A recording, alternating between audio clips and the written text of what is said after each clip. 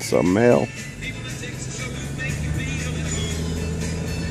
I don't see the female anywhere right now.